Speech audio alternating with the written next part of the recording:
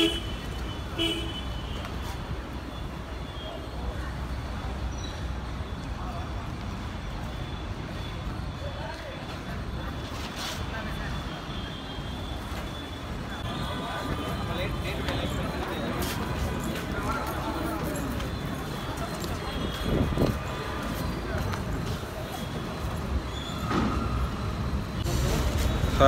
வணக்கம். ஸோ இன்றைக்கி என்ன வீடியோன்னு பார்த்தீங்கன்னா ஜஸ்ட் ஸ்பெஷல் வீடியோ டேரக்டர் அமீரனோட மூவி தொடக்க விழா அன்றைக்கி ஆஃப்டர் நைன் இயர்ஸ்க்கு அப்புறம் நீங்கள் தான் படம் பண்ணுறாரு ஸோ அதுக்கான அந்த ஃபங்க்ஷன் வந்திருக்கேன். தமிழால் நடக்குது பாருங்க கமலாவில் ஸோ எல்லா ஆர்டிஸ்ட்டும் வந்திருக்காரு.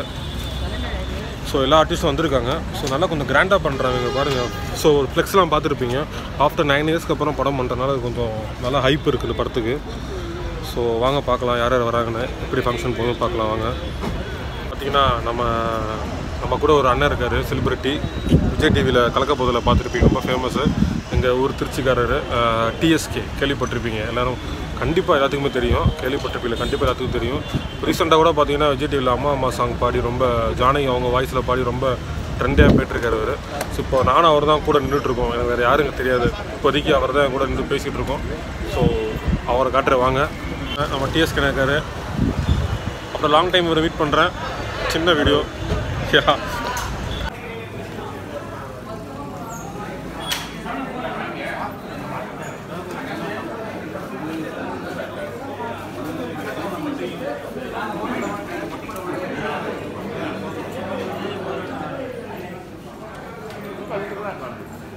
சரி வாங்க உள்ளே போகலாம் டிஎஸ்கே இருக்காரு. நம்ம அண்ணன் அசார் இருக்காப்புல.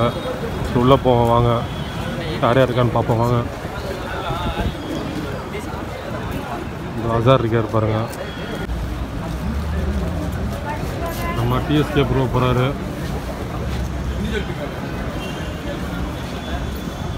டிஎஸ்கே இன்னும் இன்னும் அமீர் இன்னும் வரல. ஸோ அதான் வெயிட்டிங்கு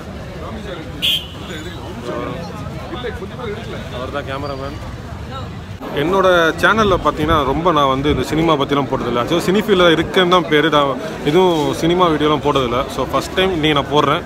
இது கண்டினியூ ஆகுமா இல்லை இதுதான் கடைசி வீடியோவான்னு தெரியாது.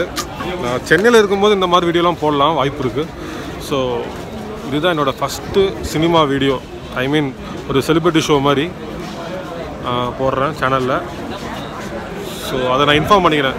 Is my first video about cinema so இனிமேல் எனக்கு தெரிஞ்ச ஃப்ரெண்ட்ஸு செலிப்ரிட்டிலாம் கொஞ்சம் நான் வீடியோவில் போகலான்றேன் அடுத்தடுத்து. ஸோ சப்போர்ட் பண்ணுங்கள் கொஞ்சம். அருள் பழனியப்பன் வராரு.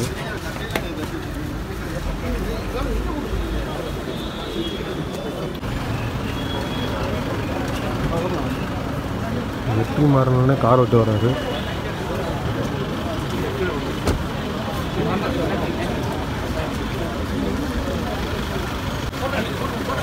மரம் வந்திருக்காரு.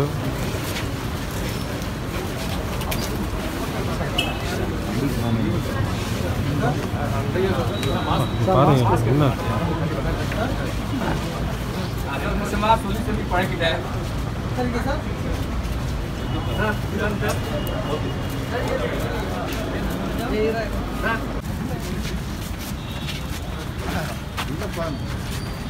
அப்படியே போமா அப்படியே போ அப்படியே வாக்கிங் வாக்கிங் போயிட்டு போயிட்டு வாங்க சார் வாங்க சார் நிற்கிறதுக்குலாம் நேரம் இல்லை.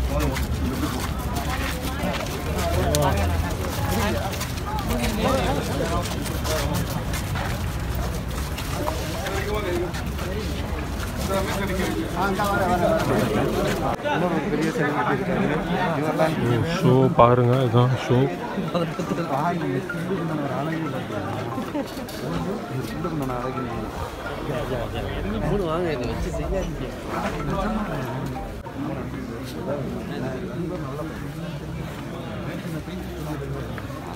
வெட்டிங்க எப்படி போண்டு ஆ சரி சரி. பேப்பரில் இருக்கும்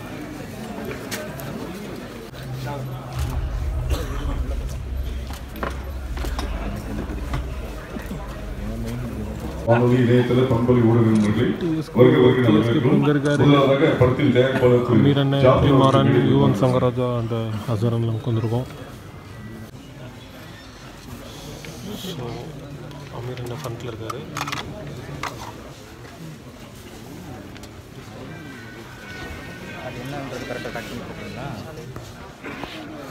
இப்படத்தில் வெற்றி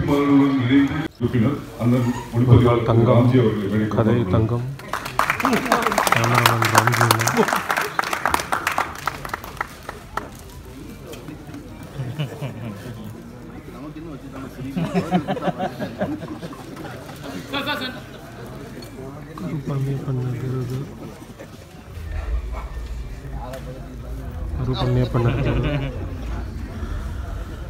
இயக்குனர் திரு கருப்பள்ளியப்பன் அவர்களை வேண்டிக்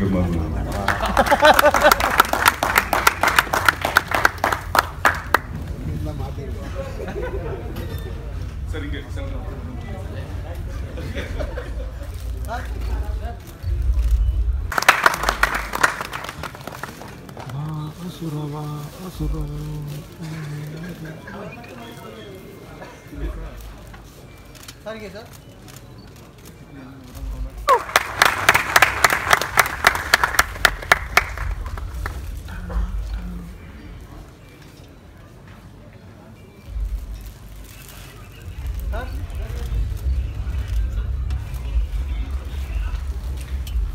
தயாரிப்பாளர் இயக்குனர் அண்ணன் நம்பீர் அவர்கள்.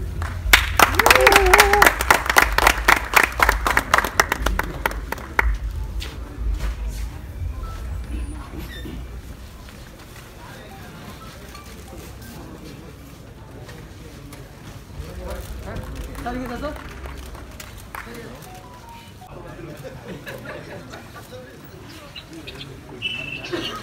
தமிழகத்தில் இருக்கும் அனைவருக்கும் நிறைவான பொறுத்தவரை சாந்தி சமாதானம் உண்டாகட்டும். காலதாமதத்திற்கு மன்னிக்கணும். அது அது வழக்கம் போல உங்கள்கிட்ட கேட்குற மன்னிப்பு தான். நீங்கள் வேறு வழியில் மன்னிச்சு தான் ஆகணும். இந்த ஏன் முதல்ல நான் உங்கள்கிட்ட பேச வந்தேன்னா கடைசியாக பேசுறதுக்கு நான் வந்து சீஃப் கெஸ்ட்டு கிடையாது. இது என்னுடைய விழா. இங்கே வந்திருக்கிறவங்க எல்லாருமே கெஸ்ட்டு ஸோ அதனால் நாம் முதல்ல அவர்களை எல்லாம் வரவேற்கிறது தான் சரியானதாக இருக்கும். இந்த விழா வந்து ஒரு சின்ன படம் போடுவோம் பூஜை போடுவோம். ஒரு ஸ்கிரிப்ட் கொடுத்து கொடுத்து அது எல்லாமே நீங்கள் பார்த்து பார்த்து பழகின ஒன்று தான்.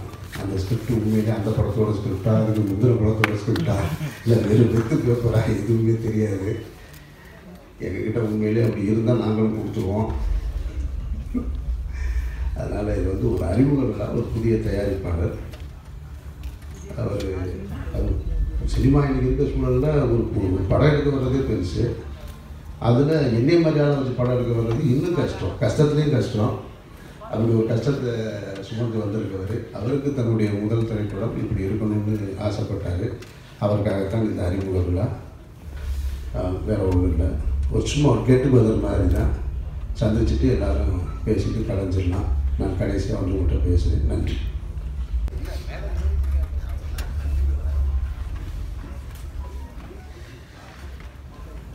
அனைவருக்கும் மாலை வணக்கம். முதல் முதல் மேடை வேறு. அதனால் ரொம்ப சந்தோஷமாக இருக்குது வந்த அனைவருக்கும் உள்ள நண்பர்களுக்கும் நன்றி. தேங்க்யூ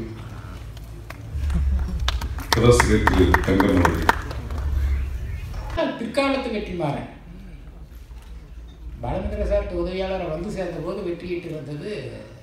இப்படியான கோட்பாட்டு அடிப்படைகளில் ஏற்பட்ட அந்த பார்வை அல்ல. அது தன்னியல்பில் அவர்கிட்ட இந்த இந்த மாதிரியான செல்ஃப் ரிகார்டிங் சென்டிமெண்ட்டிலிருந்து வெளியேறக்கூடிய ஒரு ஒரு மானுடம் இருந்தது. அந்த மானுடம் தான் காலப்போக்கில் இலக்கிய பயிற்சி தத்துவ கோட்பாட்டு கூடியிருக்கும் பத்திரிகை நண்பர்கள் மற்றும் விருந்தினர்கள் அனைவருக்கும் வணக்கம். தங்கம் பேசிக்கிட்டு இருக்கும்போது இரவு ஆரம்பிச்சோன்னா நான் லேசாக பத்திரிக்கையாளர்லாம் பார்த்தேன். ஆகா என்னடா பிறவில்னு ஆரம்பிக்கிறாங்க. மத்தியானம் மூணு முடிச்சு வைக்கும்போது நினைச்சோம் இந்த தீவிர இலக்கிய கூட்டமாக இருக்கும் போல இருக்கே அப்படின்னு அச்சத்தில் இல்லாத பார்த்தாங்க ஆனால் அதை பிரமாதமாக தஞ்சம் கொண்டு வந்து முடிச்சாரு. அப்படி இருந்த பெருமொழி இப்படி கொண்டாடப்பட்ட பெருமொழி எழுதின ஒரு வரி போதுமானதாக இருந்தது இந்த கதையை செய்வதற்கு ஒன்று பெருமொழி எழுதினதிலே சிறந்த எழுத்தாளர்னு எழுத்தாளர்களால் கொண்டாடப்பட்டவர். தீ ஜானகாரன் சொல்கிறாரு மாமேதை பிரமிழ்கிறார் சீசு செல்லப்பான்னு ஒருத்தர் இருந்தார். எல்லா எழுத்தாளர்களையும் விமர்சிக்கிற ஒரு விமர்சிப்பதை எழுத்தாக வச்சிருந்தவர்.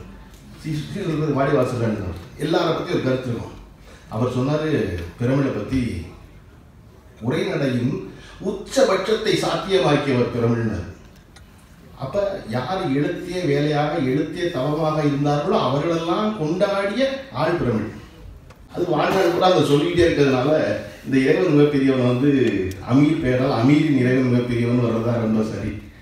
இந்த வந்து வெற்றிமாறன் அவர்களும் தங்கம் அவர்களும் கதையில் நாங்கள் தவிர இதை பற்றி எனக்கு வேறு எதுவுமே தெரியாது. எனக்கு இந்த டிசைனை அவர் நேர்த்தான் காமிச்சார். ஆனால் ஒரு ரெண்டு மூணு டைட்டில் சொன்னார் கிட்ட இந்த டைட்டில் சொன்னோன்னே நான் சொன்னேன் ஏற்கனவே நம்ம ரெண்டு பேரையில் திட்டுறாங்க. நான் ஒரு பக்கம் ஆண்டவர்னு ஒரு படம் எடுக்கிறேன் நீங்கள் ஒரு பக்கம் இறைவன் மிக பெரியவன் ரெண்டுக்கும் யுவன் சங்கர தவிர்த்துட்டு நல்லா இருக்குங்க அப்படின்னு அது அவர் நிறைய நோக்கத்தோடய செய்கிறோம் நம்ம சும்மா தான் செய்கிறோம் அப்படி கரெக்டு நீங்கள் எல்லாத்தையும் கை கொடுக்கணும் தான் விரும்புறீங்க.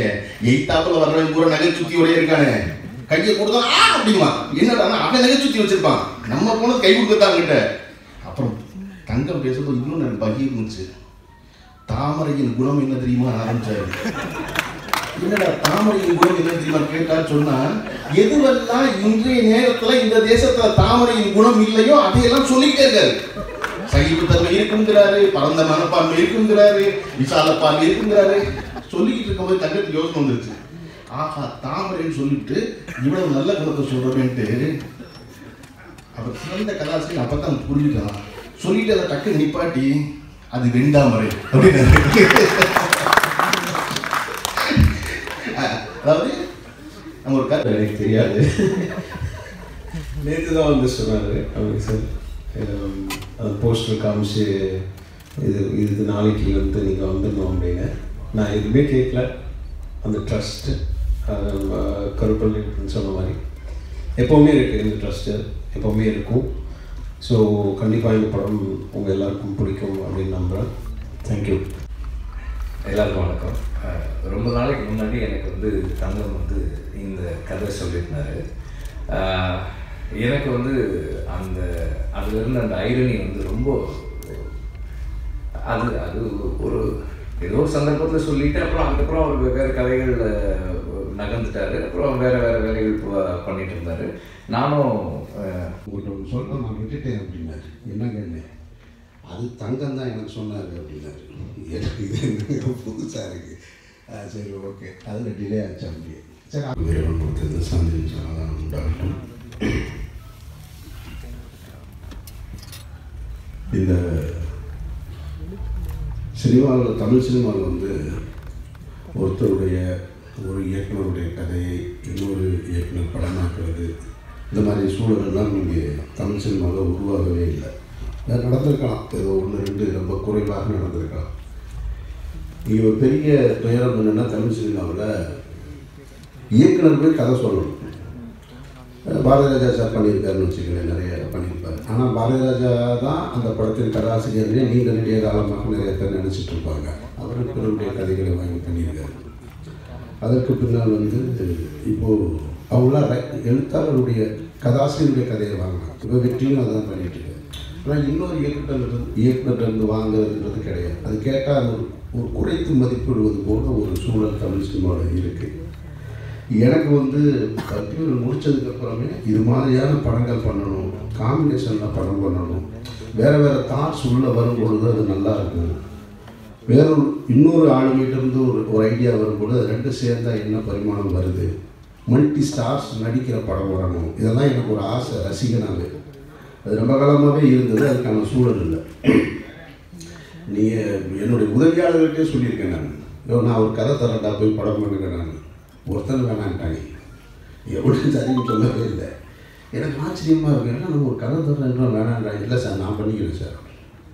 எனக்கு கதை நல்லா இல்லைன்னு நினச்சி சொன்னாங்களா? எதுக்கு சொல்கிறாங்கன்னு தெரில இல்லை வெளியே போய் சொன்னால் அதை எடுத்துக்கிறாங்களா எடுத்துக்க மாட்டாங்கன்னு தெரியல. இது எனக்கு ஒரு ஆச்சரியமான ஒரு விஷயமாகவே இருக்கும். ஆனால் கடைசியில் ஓகே அது நம்மளே தொடங்கி வைக்கிற சரியாக இருக்கும் அப்படின்றது தான் இந்த படம். நான் வந்து இந்த தயாரிப்பாளர் ஜாபர் வந்து எனக்கு கொஞ்சம் உங்கள்கிட்ட உறவினர் தூரத்து உறவினர். அவர் ஒரு அஞ்சு வருஷமாக இன்றைக்கு படம் பண்ணி கொடுங்கன்னு கேட்டுகிட்டே இருக்காரு. ஏரியா பண்ணுவோங்க பண்ணுவோங்கன்னு சொல்லியிருக்கேன் சந்தனத்தேவன் ஸ்டார்ட் பண்ணிட்டோம். சந்தனத்தேவன் பெரிய பட்ஜெட்டாக இருந்ததுனால அதில் ஒரு சின்ன தேக்க நிலை. அப்புறம் திரும்ப சந்தனத்தேவன் ஸ்டார்ட் பண்ணுறதுக்கு போகலாங்கோ அதுக்குள்ளே தான் வடசென்னை நடித்தேன் அங்கே இங்கேன்னு நிறைய நடிப்பு பயணம் போயிடுச்சு அப்புறம் இப்போ போன நவம்பரில் இந்த படத்தை ஸ்டார்ட் பண்ணலாமா அப்படின்னு சொல்லிட்டு வேற ஒரு கதை தான் நான் பண்ணி வச்சிருந்தேன்.